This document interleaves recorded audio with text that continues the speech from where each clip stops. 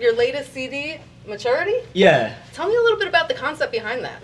Uh, the concept behind maturity was really just um, a rites of passage as a CD, and I mean that for like a lot of like local artists. I see a lot of people that are like just really okay with being mediocre, and that was kind of my way of saying let's take a step beyond mediocre, beating mediocrity. I'm sorry, and let's be great. So it's just really just a message for other people like be great. Don't don't settle for mediocrity.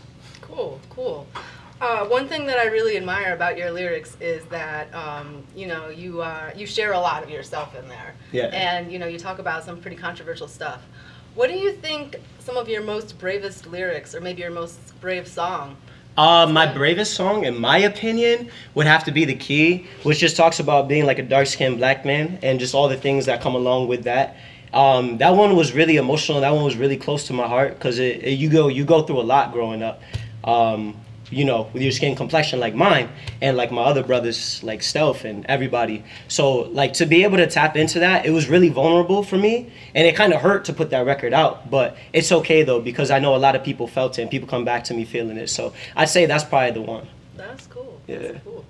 Uh, DJ Stealth, Yes. where do you get your influence for your beats? Like, where do you hear those and, and pick it up and integrate? My- Well, my, my influence in general is jazz. I started life as a jazz musician, trumpet player, and I play several instruments.